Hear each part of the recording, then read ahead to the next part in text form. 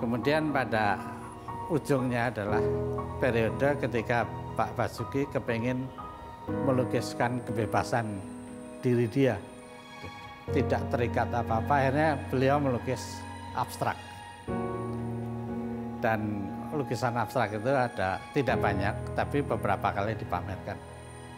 Dan merupakan kejutan untuk publik juga.